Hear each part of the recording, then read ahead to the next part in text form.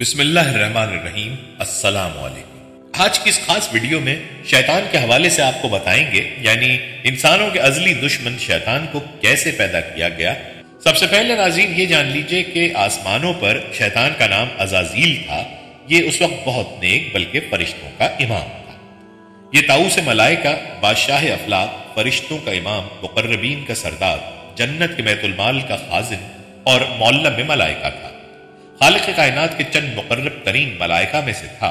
इससे ये एजाजात हज़ारों साल तक दिन और रात की मुसलसल रियाजत और इबादत के बायस अता फरमाए गए हर वक्त, हर लम्हा ज़िक्र लाही इसकी सिफत खास थी।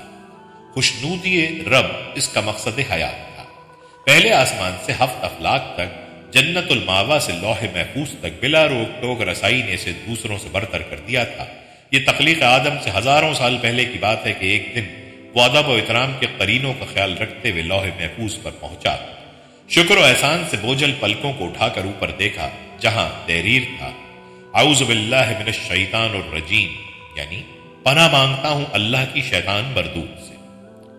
ये पढ़कर उसके पूरे वजूद पर खौफ से सनसनाहट तारी हो गई। उसने डरते डरते अर्ज़ किया अल्लाह, ये शैतान कौन है? बारगाह खुदाबंदी से निदाई, ए अजाजील, ये नहायत आबिद, जाहिद बरगजीदा और मेरे मुकर्रबीन खास में से है। लेकिन ये तकबर में मुबतला होकर मेरी हुक्मदूली करेगा। बस, मैं उसे मलून मरदूत करार देकर रांदा दरगाह कर दूँगा। रब जलाल की इस बात से वो लरज उठा। उसकी जबान में लड़खड़ाहट आ गई। अटकते लफ्जों के दरमियान फिर अर्ज़ किया, ए महबूद बरहक क्या मैं इससे वाकिफ हूँ? इर्शाद हुआ वक्त आने पर तू ना सिर्फ़ उसे पहचान जाएगा बल्कि उसके अंजाम से भी वाकिफ हो जाएगा अरश मौल्ला से आने वाले इस जवाब से उसका वजूद काँप उठा बेख्तियार आँखों से आँसू जारी हो गए। उसने सोचा कि आखिर वो कौन बदबक, बदनसीब होगा जो हमेशा के लिए निशान इबरत बना दिया जाएगा। बरसों तक ये ख्याल उसकी सोचों पर गालिब रहा। ताहम गुजरते वक्त के साथ बढ़ती जिम्मेदारियों और शदीद मसरूफियात ने इस वाक़े को उसकी यादों से महफ कर फरिश्तों के उस्ताद की हैसियत से उसकी ज़िम्मेदारी दरसवाज भी थी, जिसका आसमानों में दूर दूर तक चर्चा था और मलाइका की बड़ी तादाद उसमें शरीक होकर मुस्तफ़ीद होती थी। जब वो अपनी इन महाफिल में हज़रत जब्राइल, हज़रत मिकाइल, हज़रत इसराइल और हज़रत इसाफील जैसे मुकर फरिश्तों को देखता तो उसमें बरतरी की एक कैफियत पैदा हो जाती। शायद इसी का नाम तकबर बहरहाल, बीते सालों के साथ उसके दर्जात मजीद बुलंद होते चले अब उसकी हैसियत बादशाह अफलाक की सी थी इतने बड़े मरतबे के बाद उसमें आजजी और इनकसारी पैदा होनी चाहिए थी, लेकिन मामला उसके बारक्स हुआ। वो कहता है, मुझे यूँ महसूस होता कि जैसे मेरे अंदर से एक आवाज़ मुझे कहती है अजाजील तू इन सब में अफजल है। मुझे अच्छी तरह याद है, एक दो बार मुझे हज़रत जब्राइल और हज़रत मिकाइल ने समझाने की कोशिश भी की थी। लेकिन जब अकल पर गुरूर और तकबर के बादल छा जाए, आँखों पर रऊनियत का पर्दा पड़ जाए, कान बाज और नसीहत सुनने से कासिर हों तो फिर तबाही और बर्बादी मुकद्दर बन जाती है। जिल्लत और रसवाई का तौक हमेशा के लिए गले की जीनत बन जाता है और फिर एक बदकिस्मत दिन ये सब कुछ मेरे साथ भी हुआ। रब जलाल ने इसकी हज़ार सालों की इबादतें उसके मुँह पर दे मारी। वो जो ताऊस मलाइका था, मलून मरदूद बन चुका था। उसे हज़रत इंसान का खुला दुश्मन करार देकर, लानतुल्लाह शयातीन के लकब से नवाजा गया। अब वो शर की ताबूती कुत में तब्दील होकर, बदी और बुराई की सबसे बड़ी अलामत बन कुरान पाक में अट्ठासी बार शैतान और ग्यारह बार इबलीस के नाम से इसका ज़िक्र करके इंसानों को उससे दूर रहने और उसके शर से बचने का हुक्म दिया गया। बारी ताला ने एक लाख चौबीस हज़ार पैगंबरों को दुनिया में मबूस फरमाकर कौमों को शैतान लईन के मकर फरेब से बचने की तलकीन फरमाई।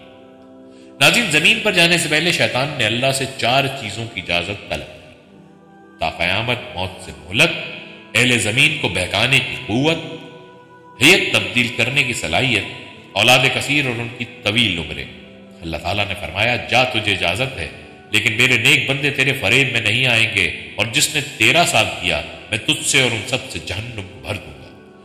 इसका तस्करा सूरह बनी इसराइल आयत नंबर इकसठ का तिरसठ में मौजूद है। अब उसका काम आसान हो गया था।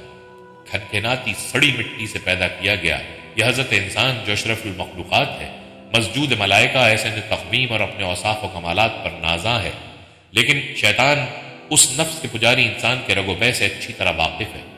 क्योंकि उसे इस बात का अख्तियार नहीं है कि वो उनके इस्लाम पर काबिज होकर उनसे बिलजबर बदी के काम करवाए। चुनाचे उनकी अंदरूनी जिबल्लत यानी नफ्स अम्मारा को अपनी वसवसा अंदाजियों और दसीसकारियों के चुंगल में फंसाकर बुराइयों पर आमादा करता है। उनमें से जो साहिब ईमान है, वो तो तऊज और इस्तफार पढ़कर उसे भाग जाने पर मजबूर कर देते हैं। लेकिन लालची फितरत के हामिल अक्सरियत उसके दाम फरेब में मुबतला होकर अंधाधुंध उसके पीछे चलने लगते हैं। फिर खुदी शिरक को तालीम, कुफर फस्क को इबादत, नाफरमानी को हाजिर जवाबी, बदतमीजी को बहादरी, मौसीकी को रूह की गजा रक्स को जिसम की शायरी, उरानियत फहाशी को जिद्दत पसंदी, मजहबी इकदाम को फरसूदा, दीनी रवायात को कदामत पसंदी करार देकर शर्म हया की चादर को तार तार कर देते नाजरीन, हज़रत आदम के दुनिया में आने से कबल कुर्रायर्ज और आसमान पर दो किस्म की मखलूकत रहती थी, एक नूरी और दूसरी नारी। नूरी मखलूक नूर से पैदा किए गए फरिश्ते हैं, जो आसमानों में रहकर दिन, रात इबादत इलाही में मसरूफ रहते हैं। इनकी औरतें होती हैं और ना ही इनकी नस्ल चलती है। नारी मखलूक जन्नात है, जो आग से पैदा किए गए ये ज़मीन पर रहते हैं, उनके औरतें भी होती हैं और उनकी नस्ल भी खूब फैलती है। जिन्नात में शर का मादा बहुत ज़्यादा होता है। अक्सर लोग मुझे भी फरिश्ता समझते हैं, लेकिन मैं जिन्नात की नस्ल से हूँ और आग के भड़कते शोले से पैदा किया गया जिस तरह इंसानों में हज़रत आदम को अबुल बशर कहा जाता है, इसी तरह शैतान के जद्द अमजद तारानूस को अबुल जिन के नाम से याद किया जाता था। कुछ मौरखीन ने उनका नाम मारिज भी लिखा है। एक रिवायत में आता है कि शैतान कहता है कि ये मेरे पैदा होने से डेढ़ लाख साल पहले का वाकया है। मेरे वालिद का नाम चलीपा और अबुल गवी उनकी कुनियत थी।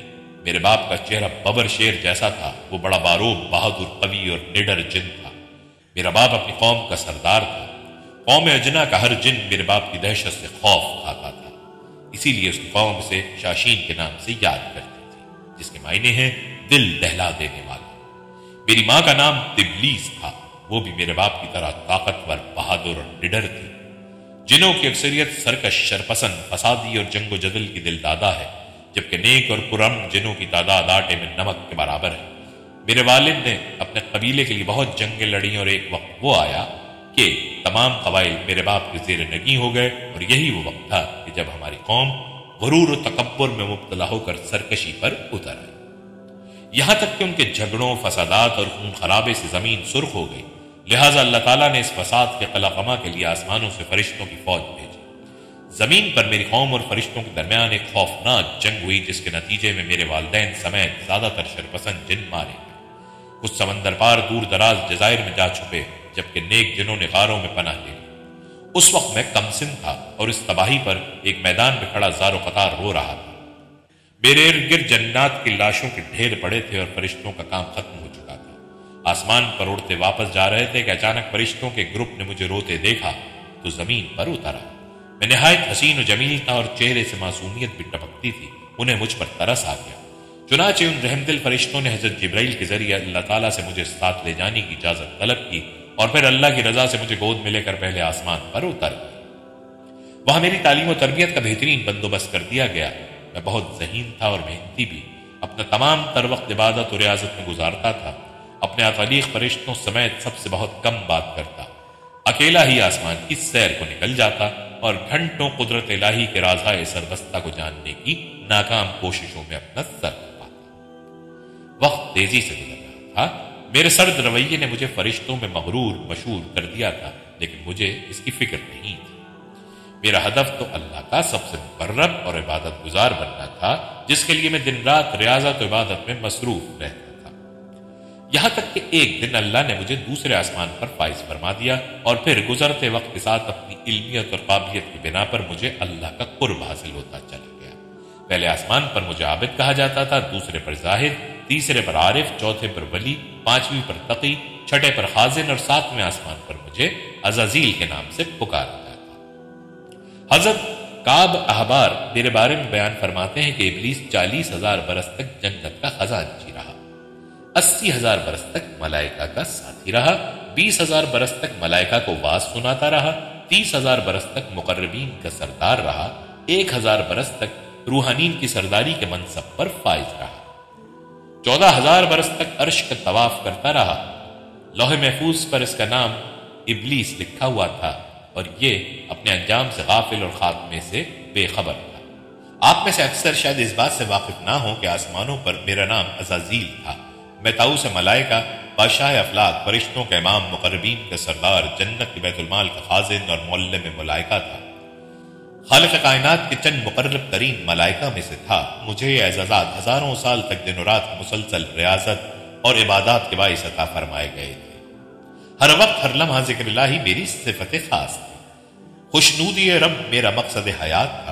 पहले आसमान से हफ्त अफलाक तक जन्नत मावा से लोहे महफूज तक बिला रोक टोक रसाई ने मुझे दूसरों से बरतर कर दिया था। ये तखलीक आदम से हज़ारों साल पहले की बात है कि एक दिन में तो एहतराम के करीनों का ख्याल रखते हुए लोहे महफूज पर पहुँचा। शुक्र एहसान से बोझल पलकों को उठाकर ऊपर देखा, जहाँ तहरीर ताउज़बिल्लाशैतानरजीम यानी पना माँगता हूँ अल्लाह की शैतान मरदूत से। ये पढ़कर मेरे पूरे वजूद पर खौफ से सनसनाहट तारी हो गई। मैंने डरते डरते अर्ज़ किया ए अल्लाह, ये शैतान कौन है? बारगाह खुदाबंदी से निदाई ए अजाजील, ये नहायत आबिद, जाहिद बरगजीद और मेरे मुकर्रबीन खास में से है। लेकिन ये तकबर में मुबतला होकर मेरी हुक्मदूली करेगा। बस मैं उसे मलून मरदूत करार देकर रांदा दरगाह कर दूँगा। रबुलजलाल की इस बात से मैं लरज उठा। मेरी जबान में लड़खड़ाहट आ गई। अटकते लफ्जों के दरमियान फिर अर्ज़ किया महबूद बरहक, क्या मैं इससे वाकिफ हूँ? इर्शाद हुआ, वक्त आने पर तू ना सिर्फ़ उसे पहचान जाएगा, बल्कि उसके अंजाम से भी वाकिफ हो जाएगा। अर्श मोल्ला से आने वाले इस जवाब से मेरा वजूद काँप उठा, बेख्तियार आँखों से आँसू जारी हो गए।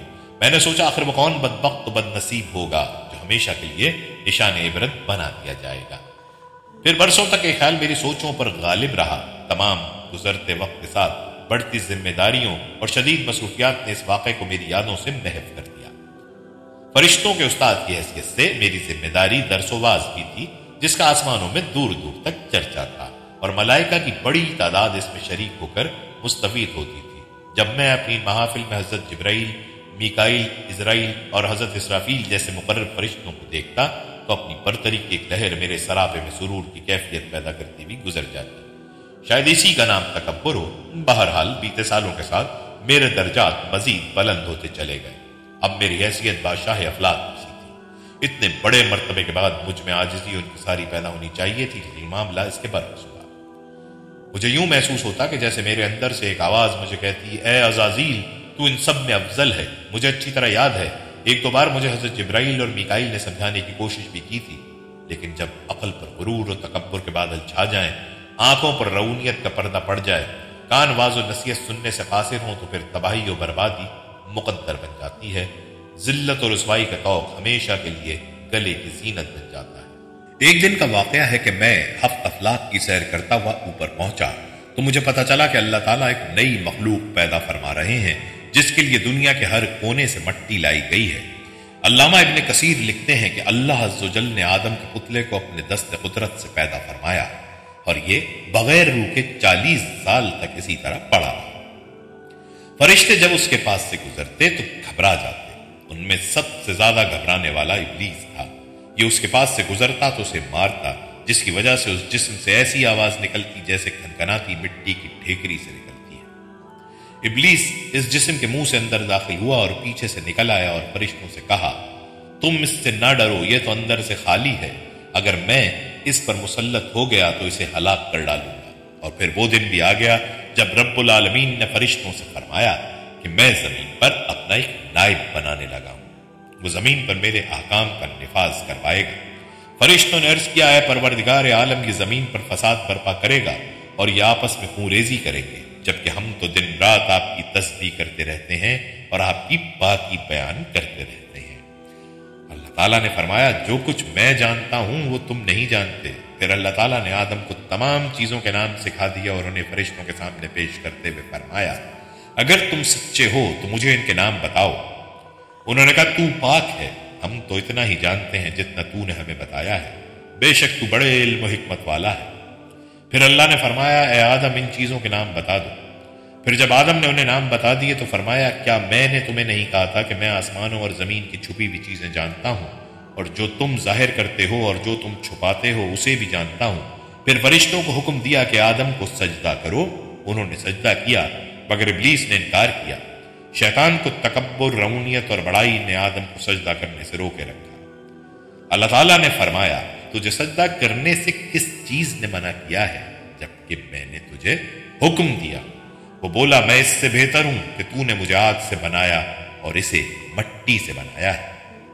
मैं ऐसा नहीं कि इस इंसान को सजदा करूँ जिस तूने सड़े हुए खनखनाते गारे से पैदा किया है। अल्लाह ने फरमाया, अब तू यहाँ से निकल जा, क्योंकि तू मरदूद हो गया है और कयामत तक तुझ पर मेरी फिटकार है। शैतान ने कहा है मेरे रब, मुझे रोज़े मैशर तक की मोहलत दे दे।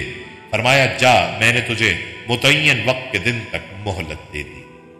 फिर शैतान ने कहा, मुझे तेरी इज़्ज़त की कसम, मैं इन सबको यकीनन बहकाऊँगा। इन पर हमला करूँगा, इनके आगे से भी और पीछे से भी। इनके दाएँ जानब से भी और बाएँ जानब से भी, और आप इनमें से अक्सर कुछ शुक्रगुजार नहीं पाएँगे। अल्लाह ताला ने फरमाया कि यहाँ से जलील ख्वार होकर निकल जा। इनमें से जो शख्स तेरा कहना मानेगा, मैं उन सबसे जहन्नुम को भर दूँगा।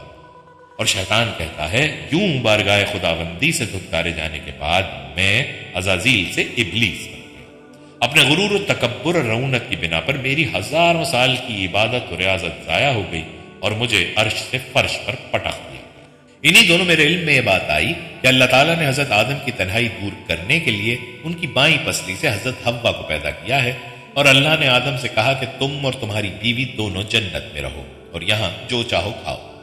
मगर इस दरख्त का रुख ना करना, वरना जालिमों में शुमार होगी। इसके बावजूद कि अल्लाह ताला ने उन्हें आधा फरमा दिया था कि इबलीस उनका दुश्मन है और ऐसा ना हो कि वो उन्हें जन्नत से निकलवा दे, मैं उनके दिलों में वसवसा डालने में कामयाब हो ही गया। मैंने उनसे कहा कि आदम, क्या मैं तुम्हें दायमी ज़िंदगी का दरख्त और बादशाहत बतलाऊं कि जो कभी पुरानी ना हो? फिर इन दोनों ने उस दरख्त से खाया, तब उनके सतर खुल गए और वो अपने ऊपर जन्नत के पत्ते चिपकाने लगे। यहाँ यह सवाल पैदा होता है कि वो दरख्त कौन सा था? किसी ने गंदुम का दरख्त कहा है और कोई अंगूर का बतलाता है तो किसी ने जैतून और खजूर की तरफ़ इशारा किया है।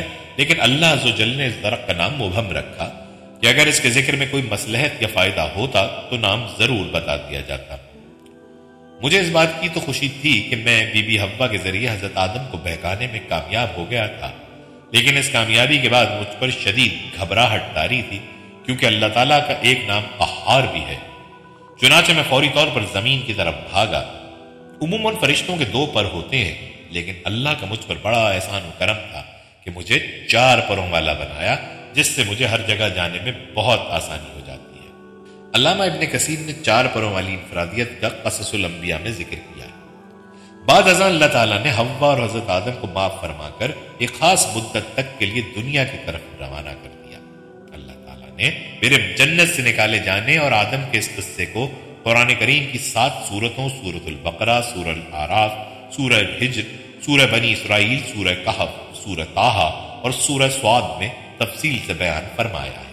मेरी इस पहली कामयाबी ने मुझे इबलीस से शैतान बना दिया और मैं लानतुल्लाह शयातीन करार दे दिया गया। दुनिया में आदम और हवा के मिलाप के बाद अल्लाह ने उन्हें औलाद कसीर से नवाजा। एक जोड़ा सुबह पैदा होता और एक शाम। सुबह वाले जोड़े से शाम वाले जोड़े की शादी कर दी जाती। इसी तरह एक दिन सुबह काबिल और उसकी बहन अकलीमिया पैदा हुई, जबकि शाम को हाबील और उसकी बहन यहूदा पैदा हुई। कानून कुदरत के मुताबिक काबिल की शादी यहूदा से और हाबील की शादी अकलीमिया से होनी थी। अकलीमिया नहायत हसीन और खूबसूरत थी, जबकि यहूदा बशकल काबिल ने यहूदा से शादी से इनकार कर दिया। वो अपनी बहन अकलीमिया से शादी करना चाहता हज़रत आदम ने दोनों बेटों से कहा कि तुम दोनों अल्लाह की राह में कुर्बानी दो, जिसकी कुर्बानी कबूल हो जाएगी, उसके साथ अकलीमिया की शादी कर दी जाएगी। चूँकि काबिल हक पर था, लिहाजा उसकी कुर्बानी कबूल कर ली गई। यही वो लम्हा था, जब मैं नाक के ज़रिए काबिल के जिस्म में दाखिल हुआ और उसके दिमाग पर कब्जा करके उसके सोचने समझने की सलाहियतों पर हावी हो गया। मैंने काबिल को मशवरा दिया कि तू अगर अकलीमिया को हासिल करना चाहता है तो हाबिल को कत्ल कर दे। पहले वो हिचकिचाया, लेकिन जब मैंने उसकी हिम्मत बढ़ाई, लालच, हसद और इंतकाम के जज्बात बेदार किए तो वो राज़ी हो गया। और फिर एक दिन उसने हाबील को कत्ल कर डाला। इस वाक्य की तफसील सूरह मायदा में मौजूद है। बाद अजा हाबील अपने वालिद के खौफ से यमन भाग गया। ताहम, मुझ जैसा शैतानी हथकंडों का मूजुद उसके साथ था। मैंने पहले उसे ऐश इशरत पर लगाया, उसकी बहुत सी शादियाँ करवाई, क्योंकि अपने काम को मुनजम तरीके से आगे बढ़ाने के लिए मुझे एक मज़बूत टीम की ज़रूरत थी। मैं आग से पैदा हुआ हूँ, लिहाजा मैंने उसे आतिश परस बना दिया। अल्लाह ताला ने मुझे मुकम्मल छूट दे रखी थी। जब उसकी नस्ल तेज़ी से बढ़ने लगी तो मैंने उसे पत्थर के बुत बनाने का तरीका सिखाया। अब कुछ आतिश परस बन गए और कुछ बुतों को पूजने लगे। हज़रत आदम के बाद उनके बेटे हज़रत शीस नबी बने, जिसके बाद हज़रत इदरीस अलैहिस्सलाम आए। लेकिन मेरा काम ज़ोर शोर से जारी रहा। अल्लाह ताला ने मेरे लिए अपनी रस्सी दराज की भी थी। दुनिया के बासी गुमराही और जलालत के गढ़ों में धसे हुए थे जगह जगह बुतों, आग और सूरज की परस्तिश की जा रही थी। मैं नहायत कामयाबी के साथ लोगों को दीन से दूर करने में मसरूफ था कि अल्लाह ताला ने अपने एक और नबी, हज़रत नू को मबूस फरमाया। उनके आने के बाद पहली मरतबा दुनिया में मुझे और मेरे पैरोकारों को तबाही का सामना करना पड़ा। यहाँ तक कि मेरी पूरी कौम तूफ़ान नू में गर्क हो गई और मैं एक बार फिर दुनिया में अकेला रह गया। अल्लाह ताला ने हज़रत नू के वाक़े का कुरान करीम में तैतालीस बार ज़िक्र किया है। दो हज़ार साल कबलस मसीह की बात है। खलीज फारस से इराक तक के वसी और अरीज इलाके पर एक कौम आबाद थी, जिसे कौम आद के नाम से याद किया जाता है। अल्लाह ताला ने इसे दुनिया भर की नेमतों से नवाजा था। सरसब्द शादाब बागात, लहलहाते खेत खलियान, शफाफ पानी के चश्मे बड़े बड़े शानदार महल्लात मालो दौलत आसाइश और आरइश की फरावानी और बेहतरीन सेहत। ये तवील क़ामत कवी और जोरावर लोग थे, इनकी शान शौकत सितवत जबरूद जिस्मानी ताकत और सहूलत ने उन्हें मगरूर और मुतकबर बना दिया था। कौम नू की तबाही के बाद, उन दिनों मैं, यानी शैतान भी, किसी ऐसी ही कौम की तलाश में था। चुनाचे मैं अपनी पूरी जमात के साथ, उनके नफ्स से अम्मारा पर हमला आवर हुआ, अपने बदी के हथियारों के साथ सबसे पहले उन्हें बुत परस्ती की जानब रागिब किया। अल्लाह ने उन्हीं में से अपने एक नेक बंदे हज़रत हूद सलाम को नबी बनाकर मबूस फरमाया, ताहम उन्होंने उनकी बात मानने से इनकार कर दिया। मालो दौलत कुत शोहरत के नशे में सरशार कौम आज बागी और सरकश हो चुकी थी। ये लोग बदी की राहों में इस कदर आगे बढ़ चुके थे कि अब उनकी वापसी नामुमकिन थी। अल्लाह ताला ने पहले उन पर हल्का अजाब नाजिल फरमाया, उन्हें तीन साल के लिए बारिश से महरूम कर दिया। उनके बागात और खेत खलियान सहरा में तब्दील हो गए, लेकिन उनकी रऊनत ने उन्हें हज़रत हूद की बात ना मानने दी फिर अल्लाह ने आठ दिन और सात रातों तक शदीद किस्म की आंधी का अजाब मुसलत कर दिया। यह आंधी इतनी खौफनाक थी कि इंसान और हैवान हवा में उड़ते आसमान तक जाते और फिर औंधे मुँह ज़मीन पर गिरकर फना हो जाते। पूरी पूरी कौम नीस तो नाबूद हो गई। अलबत् हज़रत हूद और उनके पैरोकार महफूज रहे। कुरान पाक की नौ सूरतों में कौम याद का ज़िक्र हुआ है। अल्लाह ताला ने कौम समूद में हज़रत साल सलाम को नबी बनाकर मबूस फरमाया। उस कौम के लोग नहायत ताकतवर तवील कामत और ज़बरदस्त शान शौकत के मालिक थे। पत्थरों को तराश कर पहाड़ों के दरमियान खूबसूरत, नफीस मकान बनाकर रहा करते थे। अलबत्ता वो सब मेरे ही पैरोकार थे। हज़रत साले ने उन्हें समझाने की बहुत कोशिश की, लेकिन वो मुझे छोड़ने पर तैयार न थे। चुनाचे एक नहायत जोरदार, तेज और भयानक आवाज़ के ज़रिए उन सबको आनन फानन हलाक कर दिया गया।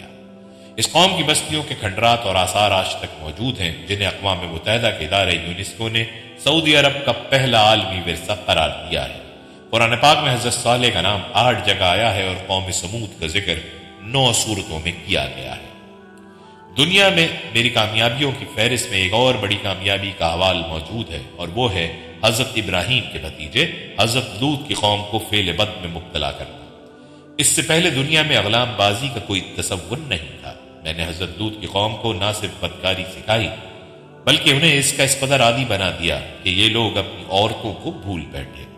हज़रत लूत ने उन्हें राय रास पर लाने की कोशिश की, लेकिन मेरी शैतानी चालों ने इस कौम को बदतरीन, फहाशी और बदकारी की दलदल में गर्क कर रखा था। यहाँ तक कि एक दिन उन्होंने खुद ही फरमाइश कर दी कि एलूद अगर तुम सच्चे हो तो अपने रब से कहो कि हम पर अजाब नाजिल कर दे। ये बदबक लोग अगर मुझसे मशवरा करते तो मैं उन्हें कभी अजाब मांगने का मशवरा ना देता। क्योंकि मुझे इल्म था कि रब जलाल की जात को चैलेंज करने के क्या नतज भुगतना पड़ेंगे, और फिर वही हुआ जिसका मुझे डर एक सुबह मैंने देखा कि हज़रत जिब्राइल के परों ने पूरे आसमान को घेरा हुआ है, ज़मीन पर रात का समा है। फिर अचानक हज़रत जिब्राइल ने अपने एक पर की नोक से उस बस्ती को खेड़ा और अपने बाजू में रखकर आसमान पर चढ़ गए।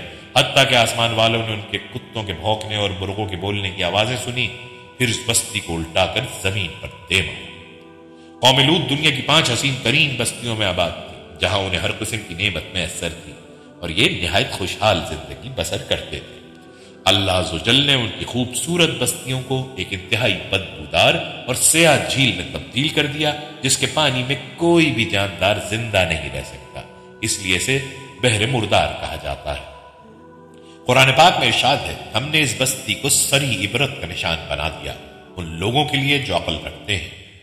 कुरान पाक में हज़रत लूत और उनकी कौम का चालीस मकाम पर ज़िक्र आया। है रांदा दरगाह होने के बाद ज़मीन पर पहली मरतबा जिस शख्स से मुझे खौफ महसूस हुआ, वो हज़रत इब्राहिम उनके वालिद को पत्थर तराश कर बुत बनाना मैंने ही सिखाया था। मैंने इब्राहिम को भी अपना हमनवा बनाने की जान तोड़ कोशिशें की कभी सूरज को रब के तौर पर पेश किया, कभी चाँद को खुदा मानने का ख्याल दिल में डाला, लेकिन हज़ार जतन के बावजूद वो मेरे काबू में ना आए। एक रोज हज़रत इब्राहिम अल्लाह के हुक्म से अपनी बीवी और बेटे को सहरा में छोड़ाए मैं दूर बैठा मंजर देख रहा था कि अचानक मैंने जिब्राइल को बच्चे के पास देखा और देखते ही देखते आब जमजम रवा हो गया। हज़रत इस्माइल जबीउल्लाह की कुर्बानी का वाकया तो सबको याद होगा। रास्ते में तीन जगह मैंने कोशिश की कि बाप बेटे को वरगलाकर इस कुर्बानी से दूर रखूँ, लेकिन नाकाम रहा। इब्राहिम के बुतों को तोड़ने का वाकया याद करो। मैंने नमरूद को राज़ी किया कि इस जुर्म की पैदाश में उन्हें पूरी कौम के सामने आग के शोरों में डाल दो, ताकि आइंदा कोई ऐसी हरकत ना कर सके। मेरे शागिर्दों ने दुनिया का सबसे बड़ा आग का लाव रोशन किया, जिसकी तपिश मीलों दूर तक महसूस होती थी। नीज मैंने ही हज़रत इब्राहिम को आग में डालने के लिए मंजनीक बनाने का तरीका बताया, लेकिन ये वार भी नाकाम रहा और नारे नमरूद गुलो गुलजार बन गए। दुनिया में आने के बाद पहली मरतबा नाकामी और नामुरादी मेरे कदम चूम रही थी। मैं दूर, बहुत दूर से दोनों बाप बेटे को अल्लाह के घर की तामीर में मसरूफ देख रहा था। दूसरी तरफ़ मेरा मुरीद खास नमरूद अल्लाह की पकड़ में आ चुका। एक मच्छर उसकी नाक में घुसा और बरसों अजाब इलाही का बाइस बना रहा। उसके सर पर पड़ने वाले जूते उसके आराम का बायस बनते, यहाँ तक कि इसी हालत में उसकी मौत वाक़ हो गई। नौ सौ पैंसठ कबलस मसीह की बात है, अल्लाह ताला ने बनी इसराइल में एक और नबी मबूस फरमाया, जिसका नाम हज़रत दाऊद था। उन्हें आसमानी किताब जबूर भी अता की गई। अल्लाह ताला ने उन्हें खूबसूरत दिलनशी आवाज़ और सहरंगेज लहन अता फरमाया था। वो जब जबूर की तलावत करते तो चरिंद परिंद दरक पहाड़, दरिया, समंदर, जिनो, इन सब अल्लाह की हमदोसना में मसरूफ हो जाते आज भी लहन दाऊदी एक जरबुल मिसल है। उनके हाथ में लोहा मोम हो जाया करता था। नीज अल्लाह ताला ने उन्हें बादशाहत से भी नवाजा था। जजायर अरब पर उनकी हुकूमत थी। उनकी शरीयत में हफ़्ते का दिन सिर्फ़ इबादत के लिए मखसूस था। और उस दिन मछली के शिकार समेत तमाम दुनियावी काम ममनू मैंने, यानी शैतान ने अपने रुफका को हुक्म दिया कि इस कौम को हफ़्ते के दिन की इबादत से गाफिल कर दो। चुनाचे मेरे मातहतों ने हफ़्ते के दिन मछलियों को कसीर तादाद में साहिल की जानब धकेला और फिर लोगों को उनके शिकार की जानब रागब किया। वो लोग पहले तो छुप कर शिकार करते रहे, लेकिन फिर आहिस्ता आहिस्ता इबादत से मुँह मोड़कर हफ़्ते को पूरा दिन शिकार में मसरूफ रहने लगे। मैं अपनी इस कामयाबी पर बेहद खुश था कि एक दिन अल्लाह ताला ने उन सब की शक्लें मस्त कर दी। जो जवान थे, वो बंदर बना दिए गए और बूढ़े खंजीर। मस्त शुदा बंदर अपने रिश्तेदारों दोस्तों को पहचानते थे और उनके करीब आकर रोया करते थे।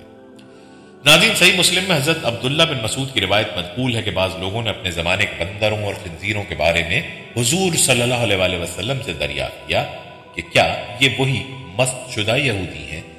तो आपने फरमाया, अल्लाह ताला जब किसी कौम में मस्त सूरत का जाब नाजिल करते हैं तो उनकी नस्ल नहीं चलती, बल्कि चंद रोज में हलाक हो जाती फिर फरमाया, बंदर और खंजीर दुनिया में पहले से मौजूद थे और आज भी हैं, मगर मशुदा बंदरों और खंजीरों से उनका कोई जोड़ नहीं। बहरहाल, शैतान कहता है कि अब मैं तुम्हें कैसे नबी के बारे में बताने लगा हूँ, जिसने हम शयातीन और जिन्नात को गुलाम बनाकर रखा? वो हज़रत दाऊद के साहबजादे हज़रत सुलेमान सलाम थे। कुरान करीम में इर्शाद बारी ताला है और हमने दाऊद को सुलेमान दिया। वो हज़रत दाऊद के इंतकाल के बाद नबूत और सल्तनत के वारिस हुए।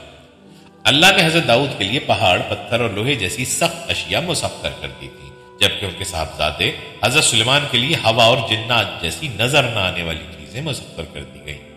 उन्हें बड़ी बड़ी इमारतें बनाने का शौक था, जिसके लिए शयातीन और सरकश जन्नात को जंजीरों से बाँध कर रखते और उनसे भारी मशक्कत के काम लेते। चुनाचे दुनिया के तमाम शयातीन और जन्नात हज़रत सुलेमान से खौफ खाते थे।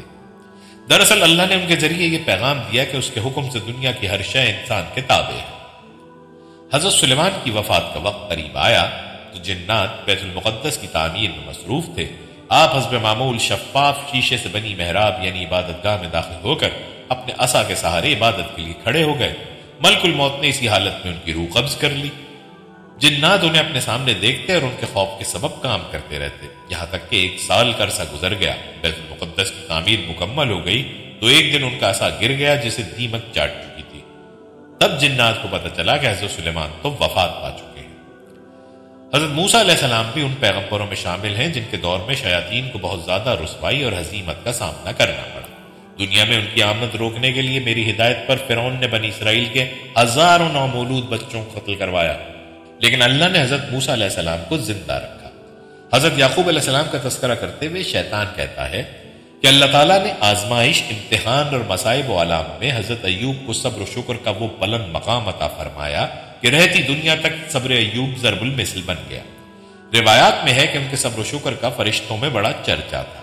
मुझे, यानी शैतान को उनसे हसद हुआ तो मैंने बारगाह खुदावंदी में अर्ज़ किया, बार इलाही, अगर मुझे इन पर वक्ती तसल्लुत दे दें तो मैं इनसे सब्र शुक्र छुड़वा दूँगा अल्लाह को हज़रत अयूब की आजमाइश मकसूद थी, चुनाचे ये हक दे दिया गया। हज़रत अयूब की बादशाहत खत्म हुई तो बोले, ए अल्लाह, तूने ही अता फरमाई, तूने वापस ले ली, तेरा शुक्र है। सात बेटे, सात बेटियाँ थे, सब फौत हो गए। फरमाया, तेरी अमानत थी, तूने ले ली। शदीद बीमारी में मुबतला हुए तो अर्ज़ किया, ये जिसम जान तेरे ही अता करना है, तू जिस हाल में रखे तेरा शुक्र है। एक दिन मैं तबीब के भेस में उनकी अहलिया के पास गया और कहा, मेरे पास उनकी बीमारी का इलाज है। मगर शर्त यह है कि जब तंदुरुस्त हो जाए तो यूँ कहते हैं कि मुझे इस तबीब ने शिफा दी है, बस यही मेरा मुआवजा है। अहलिया ने हज़रत अयूब से खुशी खुशी ज़िक्र किया तो फरमाया, वो तबीब के रूप में शैतान मरदूत था। मैं उनके करीबी था और उनके अजम हौसले को देखकर यकीन हो गया कि उनसे सब्र शुक्र को छुड़वाना मेरे बस की बात हज़रत ईसा के बाद तकरीबन पाँच सौ उनहत्तर साल तक बदी की कुतों का राज रहा। लेकिन फिर नबी आखिर सल्लल्लाहु अलैहि वसल्लम की तशरीफ़ आवरी के बाद से मेरी ज़िंदगी का सबसे मुश्किल दौर शुरू हो गया। अबू जहल से अबू लहब तक, यहूद से मुनाफिक आज़म अब्दुल्ला बिन उबी तक मेरे बड़े और काबिल रश्क मोहरे ज़मीन बोस हो गए। बनी इसराइल का मकर फरेब, चालाकियाँ, चालबाजियाँ धरी की धरी रह गई। खुद मेरा अपना यह हाल था कि कोई भी शैतानी हथकंडा कामयाब ना होता था। बदर की जंग ने मेरी कमर तोड़कर रख दी थी। मुझमें सरकार दो आलम का सामना करने की ताकत थी और ना हिम्मत। हज़रत अबू बकर, हज़रत उमर, हज़रत उस्मान, हज़रत अली, हज़रत हमजा, हज़रत खालिद और दीगर साहब कराम के मुकाबले का ख्याल नहायत अहमकाना सोच थी मैं हज़रत उमर की दहशत से तो रास्ता ही बदलने पर मजबूर हो जाता। मेरी और मेरे रफाका की सरतोर कोशिशों के बावजूद इस्लाम की रोशनी ने दुनिया को मुनवर कर दिया। हुजूर अकरम की हयात तैयबा और खिलाफत राशिदा के तीस साल मेरी तबाही बर्बादी के साथ थे। हज़रत उस्मान ने अपनी जान का नजराना देकर मेरी बहुत बड़ी साजिश नाकाम बना दी। फिर सैयदना हुसैन ने करबला के मैदान में इस्लाम को जिला बख्शी। खिलाफत राशिदा के बाद मुझे कुछ शैतानी गुल खिलाने के मौाक़े मैसर आए। बनु मैया और बनु अब्बास के दरमियान नफरतों के बीच बोए। नौ सलीबी जंगों में नसारा की मुसलसल नाकामी के बाद पापाइत को मुसलमानों की इल्मी मीरास पर कब्जे का मशवरा मैंने ही दिया मुसलमान जंगजू से पैसालारों को जन्म देने वाली सरजमीन अरब को बांझ किया। इसराइल का वजूद और बैतुलमक़दस पर कब्जा मेरा ही मरून मिन्नत है। अजीम मुस्लिम सल्तनत खिलाफत उस्मानिया का खात्मा और सोने की चिड़िया हिंदुस्तान पर नसारा का कब्जा मेरे ही हाथों अंजाम पाया। सकूत ढाका सकूत कश्मीर, हिंदुओं के मजालिम, अमरीका और इसराइल की दहशत गर्दी अरब ममालिक माशरती, समाजी, सियासी और फौजी कुत की तबाही, मेरा ही कारनामा है। मुसलमानों के अंदर से दीन की रूह सलब करके उन्हें ईमान की हरारत से बेगाना किसने किया कि सब कुछ मेरा और मेरी इबलीसी जमात ही का कारनामा है। जन्नत के जहन्नुम फैसला तुम्हारे हाथ अहल पाकिस्तान, मेरे कारिंदे, जब तुम्हारे किसी इलाके में कार्रवाई करके फातेहाना अंदाज में मेरे पास आते हैं तो मैं भूली बिसरी यादों में खो जाता हूँ। और मुझे वो लम्हा याद आता है जब मैंने लौह महफूज पर अल्लाह के नाम के साथ हज़रत मोहम्मद सल्लल्लाहु वसल्लम लिखा देखा था, वो नाम के जिससे मलाइका इश्क किया करते थे और आज इस पुरानी मोहब्बत के एहतराम ने मुझे मजबूर कर दिया कि मैं तुमको अपने मकरू अजाइम से खबरदार कर शैतान कहता है, मेरी कहानी अल्लाह की किताब कुरान मजीद में तफसील से दर्ज है, जिसमें अहले ईमान के लिए इबरत और नसीहत का बेशबहा खजाना मौजूद है, लेकिन मैं ये देखकर हैरान रह जाता हूँ कि अमलो हिदायत के इस अनमोल जखीरे को सिर्फ़ बरकत का नुस्खा समझकर घर के ऊँचे मचान पर खूबसूरत जजदान में लपेट कर महफूज कर दिया गया है। यह भी मेरी खुशकस्मती है कि तुम अरबी जबान से वाकिफ हो और ना उस दस्तूर हयात को बामायनी पढ़ने, समझने का तुम्हारे पास वक्त है, न शौक। मैंने चंद मशहूर वाकयात पर मुश्तमिल अपनी मुख्तसर सी दास्तान तहरीर की है, मगर याद रखो बदी की इस दास्तान इबरत को पढ़ने के बाद मुझ पर मलामत के बजाय अपने नफ्स को मलामत करना, जिसकी गुलामी तुम्हें सुरात मुस्तकीम के बजाय शैतानी पगडंडियों पर चलने पर मजबूर कर देती है। अब तुम्हारे पास दो रास्ते हैं। पिछली कौमों की तबाही और बर्बादी से सबक हासिल करते हुए गुनाहों से तौबा करो। झूठ, मुनाफिकत, गीबत, हसद, जुल्म ज्यादती, बदकलामी को अपनी जिंदगियों से निकाल फेंको। रिस्क हलाल कमाओ और हलाल ही खाओ। यूँ अपने नफ्स से अम्मारा से मुझे बाहर निकालकर जन्नत के हकदार बन जाओ। लेकिन अगर सुरात मुस्तकीम का यह सफ़र तुम्हारे लिए मुमकिन नहीं, अल्लाह और उसके प्यारे नबी की अतात के बजाय मेरे हम सफ़र बनने पर खुश हो तो चश्मे माँ रोशन दिल माशा। मैं दिलो जान से तुम्हें अपने साथ जहन्नुम में ले जाने को तैयार हूँ, जहाँ दोजक की भड़कती आग तुम्हारी और मेरी मुंतजर मोहतरम नाजरीन, कुरानी आयात की रोशनी में इंसान का सबसे बड़ा दुश्मन शैतान है। लिहाजा इंसान को शैतान की मक्कारियों और फरेब से होशियार रहने की ज़रूरत है जबकि अक्सर लोग अपने हम नौ, यानी दीगर इंसानों को ही अपना दुश्मन तस्वुर करते हैं। शैतान ऐसा दुश्मन है जो आपका माल नहीं चुराता या आपकी ज़मीन पर कब्जा नहीं करता, बल्कि इंसान को राह रास्त गुमराह करके इसे अंधेरों में भटकने के लिए हमेशा के लिए छोड़ देता है, और ये इतना अजीम जुर्म है जैसे अल्लाह दुश्मनी से ताबीर करता है। अल्लाह पाक हम सबको दुश्मन के मकर फरेब से बचाए और इस फितने के दौर में हमारे ईमान की हिफाजत फरमाए। आमीन। दोस्तों, ये थी हमारी आज की वीडियो। मजीद वीडियोस के लिए हमारे चैनल को सब्सक्राइब करें। अपनी राय का इजहार कमेंट्स बॉक्स में लाजमी कीजिएगा। मिलते हैं एक नई वीडियो में। तब तक के लिए अल्लाह हाफिज। फ़ी अमान अल्लाह।